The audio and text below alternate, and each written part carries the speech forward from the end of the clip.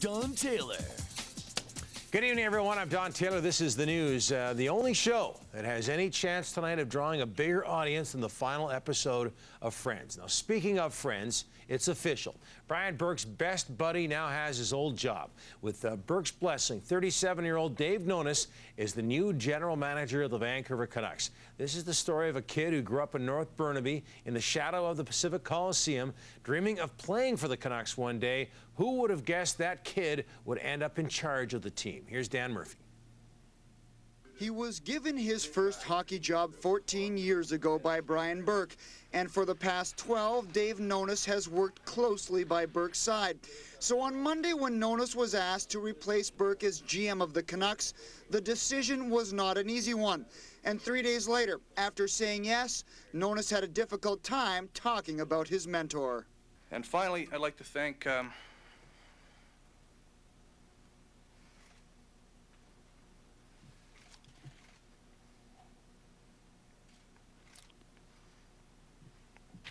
I'd like to thank Brian Burke for the opportunity that he gave me and uh,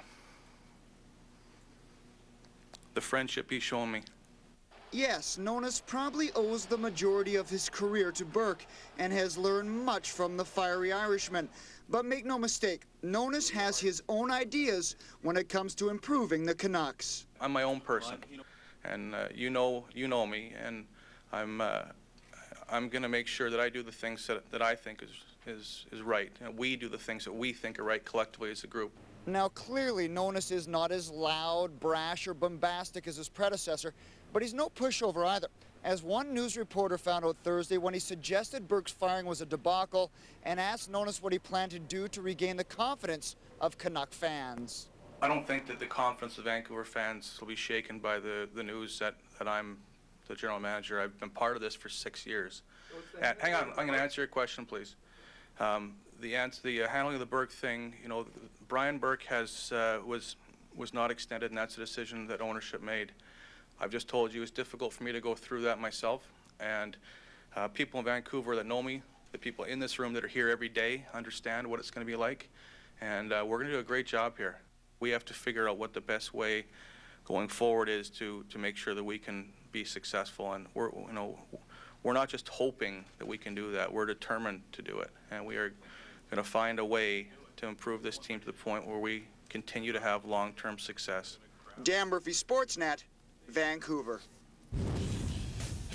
Thanks uh, so much, uh, Murph. A great show of support by the Canucks today. Everyone lining up in behind uh, Dave Nonis there. Dave spent the past six seasons working under Brian Burke as the Canucks Senior Vice President and Director of Hockey Operations. Before that, he was in New York for four years, working under Burke as the NHL's Manager of Hockey Operations. Uh, his first stint with the Canucks started uh, with a junior position back in 1990. Dave has an MBA from the U of Maine, where he was captain of the Black Bears for two seasons. He also played uh, junior B hockey with the old Burnaby Bluehawks. Now, several Vancouver players, as you saw, attended today's press conference, and to a man, uh, they give Dave Nonis the big thumbs up.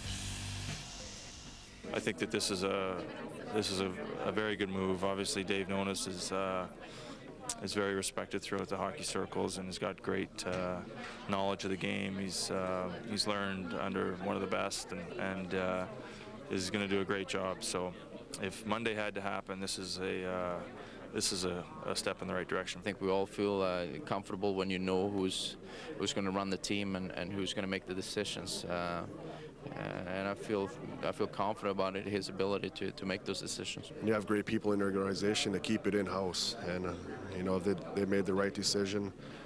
Um, like you said, you bring someone else in, and uh, you don't you know uncertainty of players being here, so. Um, you know, we have a good group here, and um, obviously in, in hockey there's always going to be changes, but I, I, think for the most part, uh, you know, he's committed to make the right decisions and the right ones. All right, our power poll tonight. What is Dave Nonis's number one priority as the new GM of the Vancouver Canucks? We're giving you uh, what? We're giving you six choices here. Improving the goaltending, and getting Todd Bertuzzi reinstated, re-signing Brendan Morrison, keeping Markus Naslund happy. Markus with only one year left on his contract. We always hear about him uh, talking about ending his career in Sweden. Improving team grit and toughness, big problem in the playoffs, or adding scoring depth. Want to uh, take part? Uh, cast your vote at sportsnet.ca. Of course, uh, there were two strong candidates within the Canuck organization to replace uh, Burke. One was Nonis, the other was Steve Tambellini. And if you think Tambellini is angry at Vancouver management for not giving him the general manager's job, well, then you don't know Steve Tambellini. In fact, as we found out today, Nonis is the Canucks' uh, new GM. We all, uh, new GM. We also found out that Tambellini will be his right-hand man. Steve is now the assistant GM while Chief Operating Officer Dave Cobb will assume some of Brian Burke's responsibilities as team president. Dave and I have worked quite closely together for some time. Uh, a strong relationship away from uh, the business part of our game. So uh, we're very confident that we can take this through. Where Brian did have res uh, business responsibilities, those will will flow over to me. But in most cases, they were sort of joint things we did together anyway. So I don't see a drastic change. I don't think there's going to be drastic philosophical differences from what you had seen the past five years. So. Um, will there will it be different? Yes, but overall the direction I would say uh, as far as commitment and what we're going to ask from our players, ask from our coaches will stay the same. Dave Nonis uh, wasted no time in making his first move as a new Canucks GM. His first order of business at this afternoon's press conference was to announce that associate coaches Mike Johnston and Jack McIlhargey had both been signed to three-year contract extensions, meaning they're locked up for the same amount of time as Marc Crawford is. I think it's wonderful. You know, I, uh, I, was telling some of the other people here today. You know, I, I, think in in in the future, I can envision those guys running their own teams as well. They're that high quality. Our players uh, know them. They appreciate them. Uh, you know, and and it, that's such a such an important part of of what we do. They they're honest with the players. Uh, they're honest with me. We have great interaction as a coaching staff. We have a great uh, um, just feel as, as a coaching staff, and we balance each other off so well. That you know, I was excited uh, about Jack and Mike being back on, and I know that uh, they're the type of, of guys that uh, will continue to help this club make the improvements that we need to make.